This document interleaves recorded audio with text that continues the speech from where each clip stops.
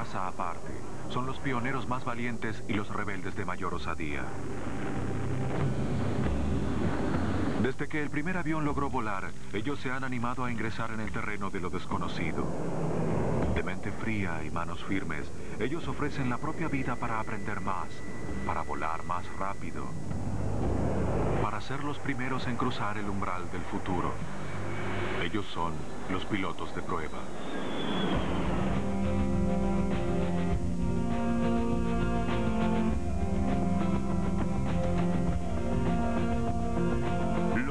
Aviadores.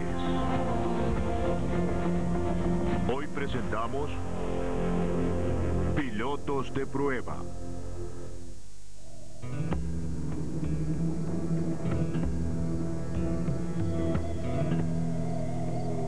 Hoy una nueva creación está lista para cobrar vida. Las mentes más brillantes han dedicado más de una década a su construcción y se han invertido millones de dólares para su éxito. Es una revolución de la ciencia y de la tecnología. Pero nadie puede predecir lo que sucederá en las próximas horas. Esta aeronave es única en su especie y nunca ha volado.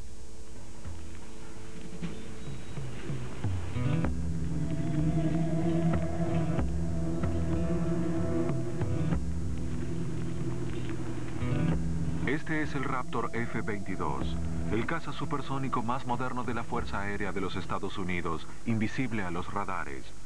Hoy dará su primer paso hacia el cielo.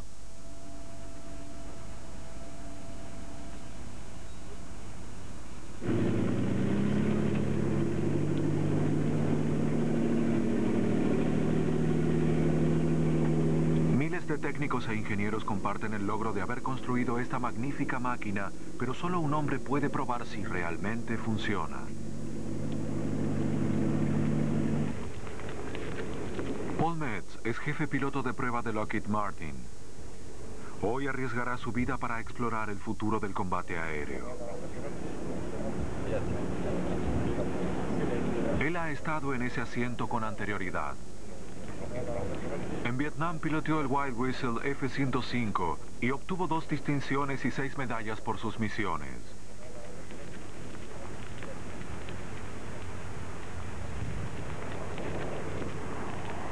Si bien Paul Metz ha pasado los últimos cinco años estudiando proyectos y practicando en simuladores, no existe garantía de que la misión de hoy no termine en tragedia.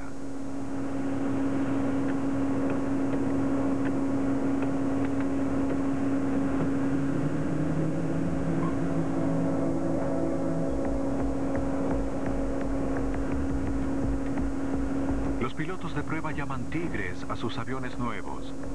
La pregunta es, ¿será este uno con instinto asesino o más bien pacífico?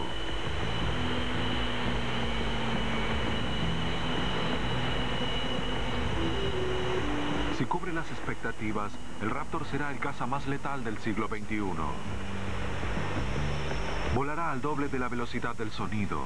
Podrá girar con gran facilidad y mantenerse imperceptible al radar enemigo.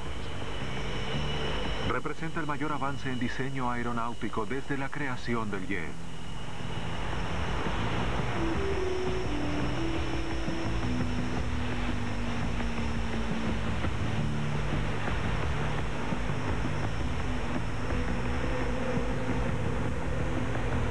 Un piloto de pruebas dijo una vez que la única manera de montar sobre un tigre es tomarlo por las orejas y aferrarse a ellas como a la vida misma.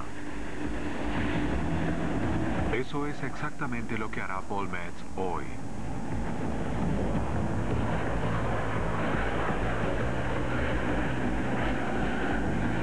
Pero no estará solo.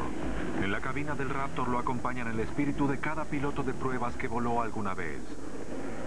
Para que existan los aviones, antes debieron existir los pilotos de pruebas.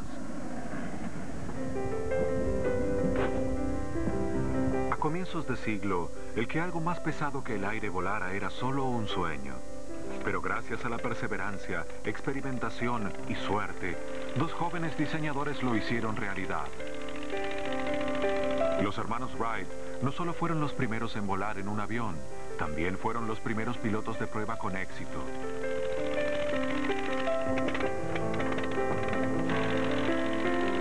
Las décadas siguientes, tanto los pilotos de prueba como los inventores ampliaron los límites de la aviación en todas las direcciones.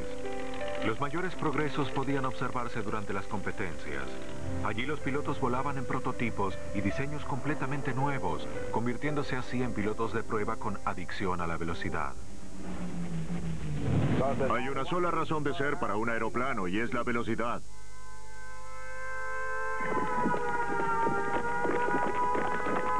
Estas innovaciones tuvieron un gran valor durante la Segunda Guerra Mundial. En los combates la supervivencia dependía de la velocidad.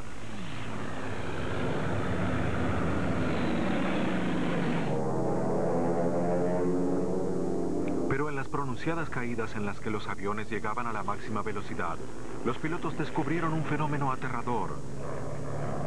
Al igual que un barco en el agua, un aeroplano crea una onda en el aire mientras vuela. Al aproximarse a la velocidad del sonido, alrededor de unos 1050 kilómetros por hora, se forma una gigante onda llamada onda de choque.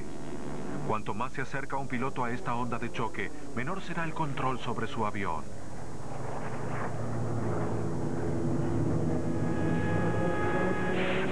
Los pilotos la llaman la barrera del sonido porque ningún avión parecería poder superarla. Atravesar esta barrera era un doble problema. Si bien la velocidad del sonido real depende de la temperatura del aire y de la altitud, los convencionales aviones a propulsión ni siquiera podían acercarse al nivel de vuelo y ninguno tenía la potencia suficiente para soportar los efectos de la onda de choque. A fines de la Segunda Guerra Mundial, la ingeniería aeronáutica había sido revolucionada por la propulsión a chorro. Pesar de que algunos jets llegaron extremadamente cerca a la velocidad del sonido o Mach 1, ninguno tuvo la potencia necesaria para sobrevivir al impacto causado por la onda de choque.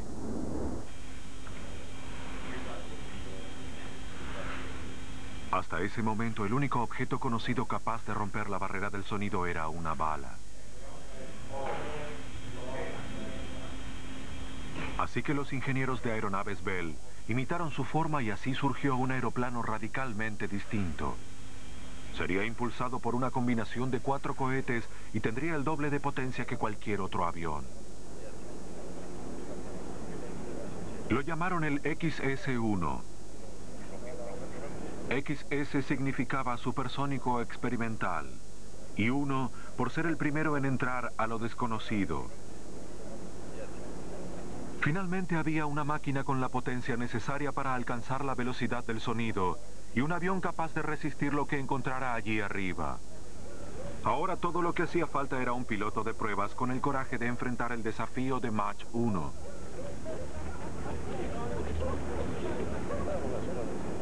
El jefe de pilotos de prueba de la empresa Bell, Jack Woolens, fue el elegido para la tarea.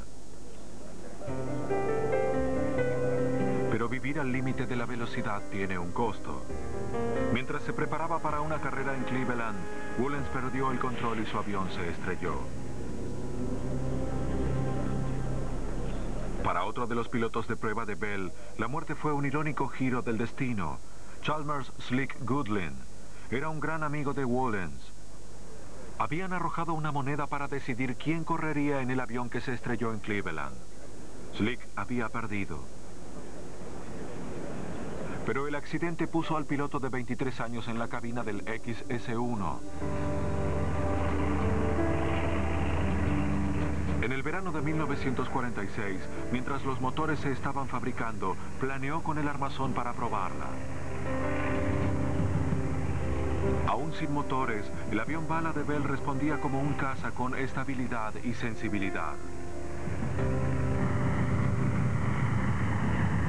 En tierra, el voraz cohete XLR-11 estaba casi listo. Sus fabricantes anunciaban que impulsaría al XS-1 a una velocidad de 1.605 kilómetros por hora, casi el doble alcanzado por los aviones más veloces que se conocían. Para las pruebas de motor, el equipo del XS-1 se instaló en el desierto Mojave en California. Su aislamiento resultaba ideal para pruebas secretas. El clima seco y soleado del lugar prometía prácticas ininterrumpidas. Los 155 kilómetros cuadrados del endurecido lecho de un lago servirían como la pista más extensa del mundo. Fue desde aquí que a fines de 1946, Goodlin comenzó su arremetida hacia Mach 1. En un hangar especialmente construido sujetaron al XS-1 como una bomba al compartimento de un B-29. Con un motor que consumía casi 8 litros de combustible por segundo, el pequeño avión solo podía cargar lo suficiente para dos minutos y medio de vuelo. Para tener el combustible suficiente y superar así la barrera del sonido, el XS-1 necesitaría que le dieran un aventón.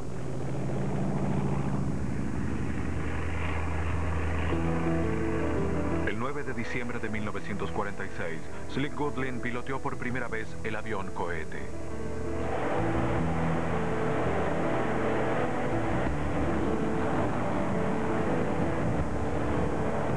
El motor dio una gran sacudida. Goodlin dijo que cuando lo encendió sintió como si alguien lo hubiera golpeado en la espalda con una enorme pala.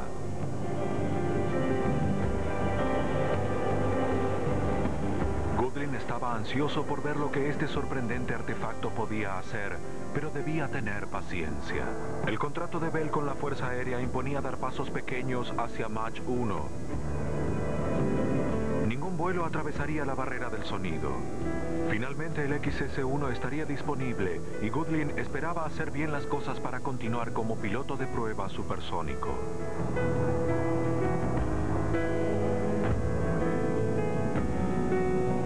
Sería así. La Fuerza Aérea tenía sus propios planes para el XS-1 y estos no incluían a ningún piloto de prueba civil. Cuando se encontraba a pasos de lograr su objetivo, Goodlin se vio forzado a abandonar. La Fuerza Aérea lo reemplazó con su propio piloto, un piloto de guerra con gran intuición para las nuevas máquinas. El capitán Charles Chuck Yeager tomó la posta donde Slick Goodlin la había dejado, avanzando paso a paso hacia la velocidad del sonido. El XS-1 fue rediseñado como X-1. Yeager tuvo el placer de bautizar a este avión con el nombre de su esposa Glamorous Glennis.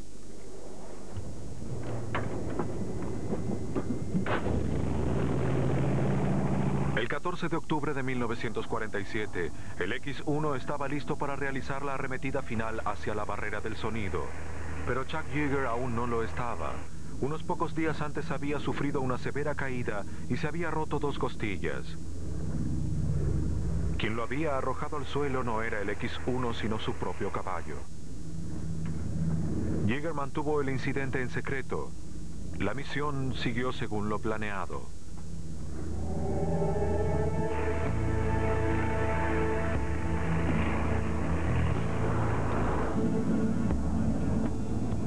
A 1060 kilómetros por hora, Yeager experimentó el impacto de la onda de choque.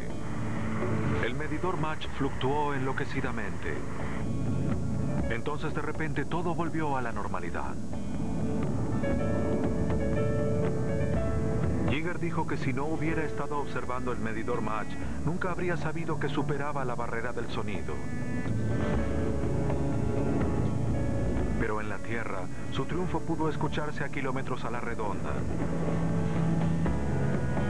En menos de un segundo, el terror que envolvía a Mach 1 se había desvanecido. Por primera vez un hombre había volado más rápido que una bala.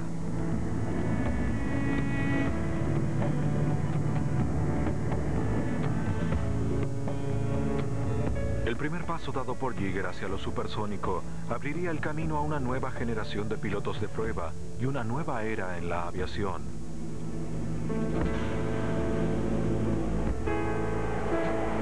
Pero el futuro deparaba nuevos peligros. Harían falta pilotos con nervios de acero. Con el deseo de arriesgarlo todo, de ser más veloces y navegar hacia lo desconocido, para tocar el límite mismo del espacio.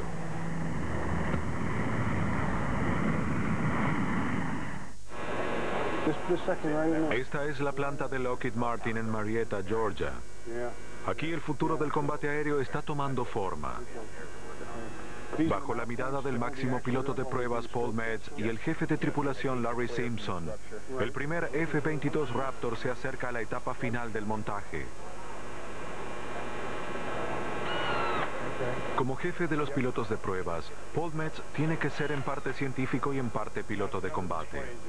Su trabajo es imaginar lo que necesitarán los pilotos del mañana y traducir estas necesidades en un lenguaje que los ingenieros puedan entender. Cuando entre en servicio, el Raptor será la envidia de toda la fuerza de combate. Hasta entonces tendremos que conformarnos con batallas al viejo estilo. Con un precio cercano a los 72 millones de dólares, este F-22 tiene aún mucho por demostrar y para los defensores del presupuesto, la belleza del Raptor es solo superficial. El F-22 es difícil de vender. Creo que en gran medida porque no parece muy diferente a otros aviones anteriores a él. Pero es un paso importante como lo fue del monoplaneador al biplaneador y como lo fue del jet al motor a propulsión. Es esa clase de adelanto. Lo que convierte a este avión en un gran avance con respecto a los actuales aviones de combate es que puede combinar tres cualidades que parecían incompatibles. Velocidad supersónica, agilidad e imperceptibilidad. Hace años que toda esta tecnología ya estaba disponible para la Fuerza Aérea de los Estados Unidos, pero no en un solo avión. El F-15 Eagle es rápido y ágil, uno de los aviones de combate más feroces del mundo, pero no es imperceptible. El F-117 Nighthawk es prácticamente invisible para el radar enemigo, pero no es supersónico. La Fuerza Aérea necesitaba un avión con estas cualidades. La búsqueda comenzó con la competencia. En 1990, sobre el lecho del mismo lago en que se efectuó el lanzamiento del X-1 hacia la barrera del sonido, dos gigantes se preparan para una nueva batalla. Por un lado, Northrop Grumman, McDonnell Douglas y Rockwell International habían aunado fuerzas en un prototipo llamado IF-23. Por otro lado estaba General Dynamics, Boeing y Lockheed con su nuevo prototipo, el IF-22. El piloto de prueba Paul Metz también estaba allí, pero no iba a volar para Lockheed. Estaba al comando del prototipo de competición, el IF-23. En el desierto Mojave, pilotos de prueba y prototipos llevaron a cabo un duelo de tres meses por el futuro del combate aéreo. Desarrollaron velocidades cercanas a Mach 2, ángulos de ataque que hubieran sido imposibles de lograr por un avión convencional y una maniobrabilidad que hubiera humillado a un colibrí.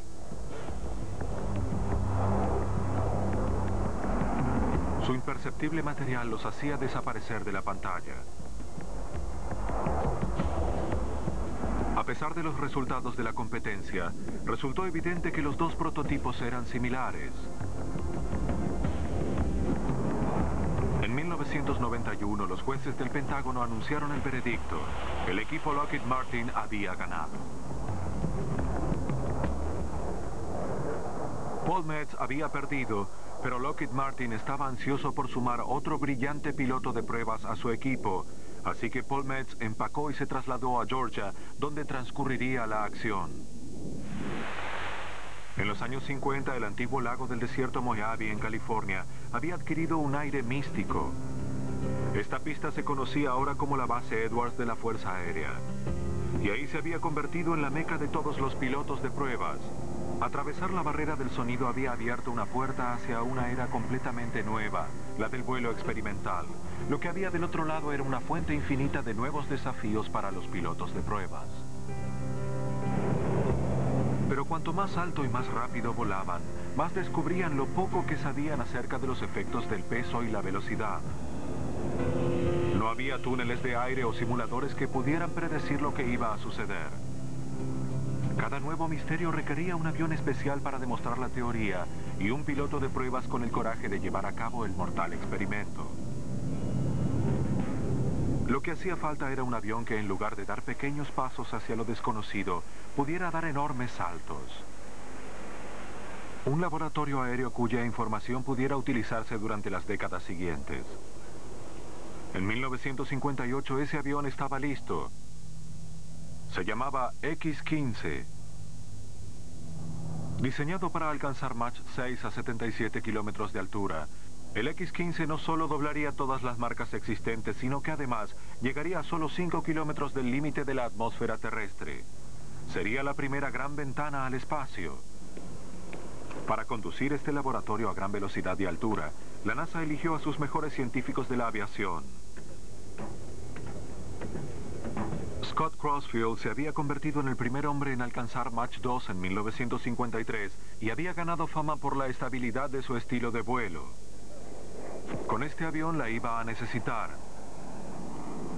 El X-15 estaba diseñado en torno a un inmenso cohete recubierto con una aleación de níquel especial resistente al calor. Se trataba de un cohete con alas y volante, apto para todo tipo de pruebas y experimentos.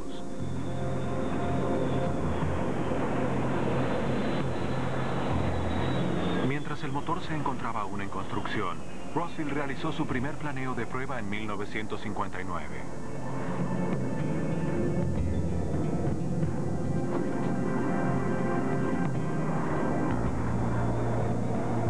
Con sus cortas alas, especialmente diseñadas para volar por la atmósfera superior, el X-15 se precipitó como una piedra.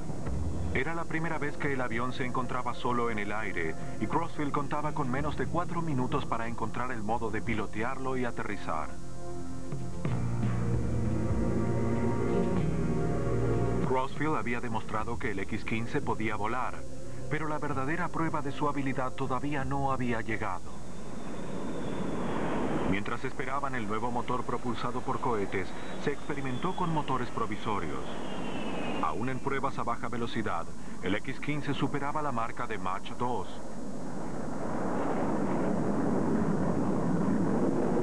Pero durante la tercera prueba todo salió mal. El motor se prendió fuego y Crossfield perdió potencia. Milagrosamente logró dirigir el X-15 hacia el claro más cercano antes de recurrir al tren de aterrizaje. No tenía la resistencia suficiente para soportar el peso del tanque de combustible completo, así que Crossfield debía arrojar tanto combustible como fuera posible, pero el X-15 todavía estaba demasiado cargado cuando golpeó contra el suelo.